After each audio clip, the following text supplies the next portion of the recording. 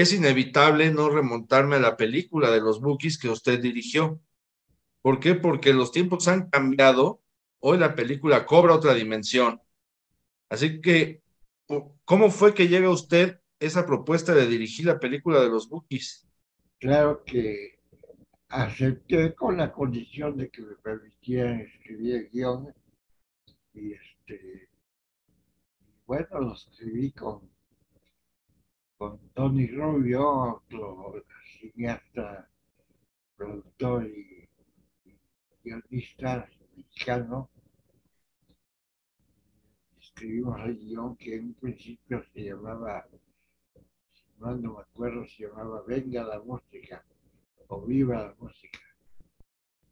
Este, pero cuando ya eh, adentrados en la historia, el guion este, Marco Antonio me, enseñó la, canción que acababa de escribir, que se llamaba Cómo fui a enamorarme de ti.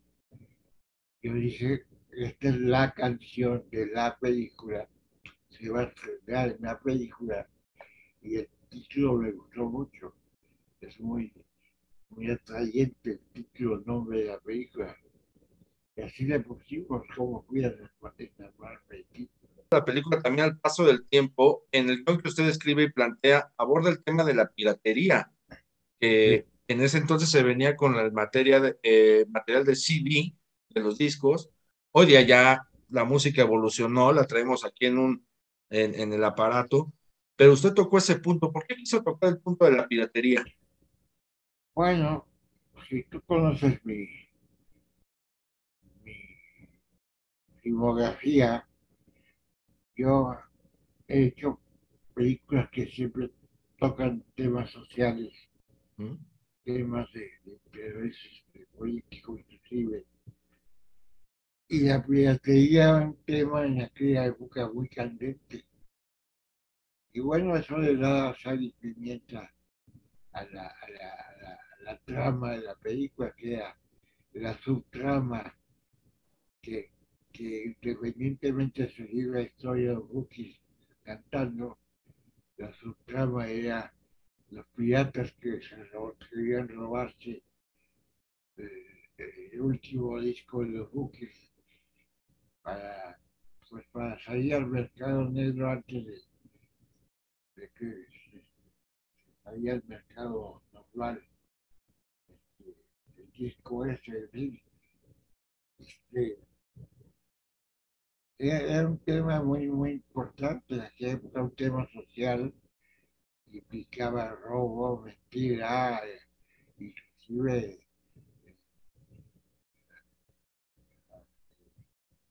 había asesinatos y muertes. También hace un detalle ahí con un afán, ellos tienen un afán que llega al concierto, le roban su boleto y en un diálogo ella dice, me puse mi vestido para venir al concierto, o sea, me compré mi vestido. Era una época en la que había eso, ¿no? El hombre se, se, arreglaba para ir a un concierto eh, de los Bookies o de otras agrupaciones y las mujeres se, compraban sus vestidos, sus atuendos, se, se arreglaban para ir a un concierto. Eso lo rescata muy bien la película. Me consta que así Este, y eso me gustaba de ese grupo porque estaba muy cercano a la gente. La gente los creí mucho, se sentían muy identificados con ellos, con ellos como, como personas, como músicos, y con las canciones que ellos cantaban que eran pues, muy populares, muy, son baladas generalmente de amor y muy positivas los, seguíamos con nuestras cámaras de pueblo en pueblo porque pueblaban mucho. Llegábamos nosotros en las tardes, antes del concierto, a poner nuestras cámaras. El pueblo estaba vacío, no había gente. ¿Dónde estaba toda la gente? Sentado en sillas esperando el concierto en, en la cancha de básquetbol de la escuela donde se daba el concierto. Y ahí estaba todo el pueblo, desde los abuelitos hasta los nietos. Y, era, una fiesta y todo el mundo se arreglaba, todo. e-, era realmente muy bonito. En la película hay una secuencia muy curiosa, que es cuando ellos entran por una vecindad y después se meten en una casa y salen por el baño de otro vecino, que dices, claro, es que esto solamente podía ocurrir con un concierto de, esta magnitud, de esta banda. E-, es una secuencia que se nos ocurrió a, Tony y a mí, pero refleja muy bien que, que cercano estaba el grupo con, con esa, con, el pueblo, ¿no? El pueblo mexicano, el pueblo, pueblo este, bueno, como dice nuestro presidente, ¿no?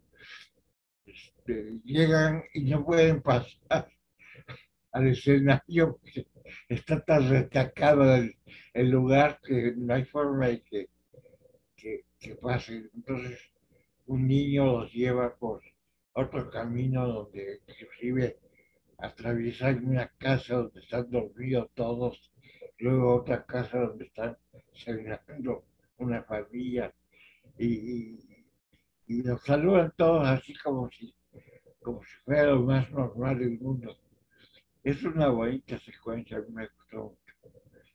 Y después de escuchar Tu cárcel, uno se pregunta por qué la película no se llamó Tu cárcel, ¿no? Porque es como la canción más emblemática. Y bueno, ya escuchándolo es por qué se le puso Cómo fui a enamorarme de ti. Bueno, ¿en algún momento se pensó llamarla Tu cárcel? Fue una canción que ellos fue un gran éxito varios años antes. Si hubiéramos puesto por cárcel, hubiera sonado a, vieja. Había que tener una canción nueva que se cantara en la, película y que lanzara la película y la película la canción. Y así sucedió como fue normalmente también se volvió una canción muy popular, pues, de mucho éxito.